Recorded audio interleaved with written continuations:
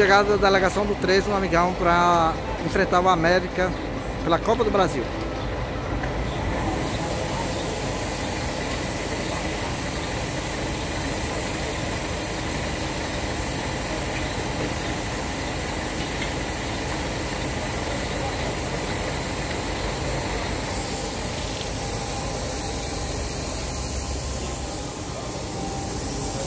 Aqui só tudo.